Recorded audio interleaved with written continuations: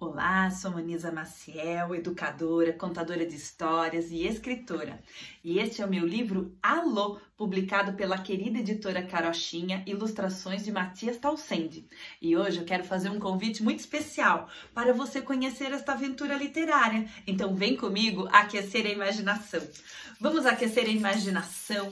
Qual será o cenário desta história? Será que está frio? Será que está calor? Será que é de dia? Será que é de noite? Será que tem cheiro nesta narrativa? Todo mundo junto comigo, aquecendo a imaginação na potência super, hiper, mega, master plus advance power. Conseguiram? Ah, então vamos lá. A savana é o cenário desta história. E bem no meio da savana tinha uma vila onde habitavam muitos animais. Os animais eram muito festeiros. Eles viviam festejando durante o dia. E a festa era tão boa, tão boa, que chegava até a noite. Os filhotes adoravam, brincavam correndo para lá e para cá. E a dona Zebra, a dona Zebra cuidava da culinária e fazia uma comida saborosa, deliciosa, apetitosa, gostosa. O leão, com o seu violão, cuidava da cantoria. Blém, blém, blém, blém, blém, blém, blém, blém, blém, blém, blém, blém, blém, blém, blém, blém. Durante o dia, os animais cuidavam das suas atividades. Mas, certa vez, começou a acontecer algo estranho. Eles viram que a casa da dona girafa andava muito esquisita. Todo dia acontecia algo novo. Teve um dia que as paredes balançavam, estremeciam. E no outro dia, imagine que as luzes acendiam e apagavam, piscavam o tempo todo. E num outro dia, saía confetes pelas janelas, bolinhas coloridas voavam. Bom, aquilo causou muito estranhamento.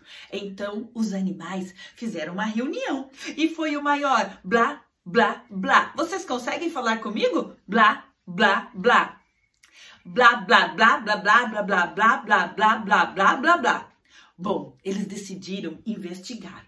Então todos ficavam muito, mas muito atento, procurando por todos os cantinhos e espaços onde poderiam encontrar uma pista para solucionar esta dúvida e questionamento dos animais. E procura de lá, procura de cá, procura de lá, procura de cá, procura, procura, procura, procura, até que finalmente descobriram um mistério. Quem fazia toda aquela confusão era os filhotes da girafa. Eles eram bem educados, mas eram muito, mas muito travessos e arteiros. Bom, o tempo foi passando. E certo dia, Dona Girafa estava andando. Anda que anda, anda que anda, anda que anda, vai todo mundo. Anda anda, anda que anda, anda que anda, vai. Ela andava tranquilamente quando de repente encontrou o elefante. E o elefante então parou para conversar com Dona Girafa e disse para ela: Ora, Dona Girafa, outro dia liguei na sua casa. A dona girafa já foi esticando o seu pescoço longo, imenso, enorme, gigante. Foi ficando com o olho arregalado, com o pelo arrepiado e muito preocupada, porque ela sabia que os filhotes eram muito travessos, viravam a casa do avesso. E ela então perguntou: e o que os meus filhotes responderam, elefante? O elefante olhou para ela e disse: É, hum, é. Nem te conto. Todo mundo, nem te conto. Nem te conto. Vocês conseguem fazer junto comigo? Chacoalhando o ombro? Vamos lá? Nem te conto. Todo mundo, nem te conto. Mais um pouquinho. Nem te conto. A girafa ficou muito, mas muito curiosa. Ela já imaginou mil coisas. E o tempo foi passando. E certa vez a girafa estava passando próximo ao rio. Estão ouvindo o som das águas?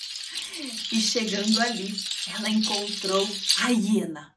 E a hiena falou para ela: Outro dia, liguei na sua casa e você não estava e seus filhotes atenderam. Foi o que bastou. A girafa esticou o pescoço, ficou preocupada, com o coração acelerado, o olho esbugalhado, imaginando mil coisas e perguntou: O que os meus filhotes falaram? A hiena olhou para ela, olhou de novo e respondeu: Nem te conto. Todo mundo, nem te conto. Mais uma vez, nem te conto. Ai, a girafa estava desesperada, angustiada, curiosa. Afinal de contas, o que os seus filhotinhos andavam falando no telefone? Foi quando a dona girafa parou e ficou pensando com seus botões e finalmente ela teve uma ideia. Ela decidiu ligar para sua própria casa. Shhh, ela vai tentar descobrir esse mistério e ligou para sua casa. Tu, tu, tu, tu, tu, tu, tu. Ai, o telefone estava ocupado. O plano da dona girafa não deu nada certo.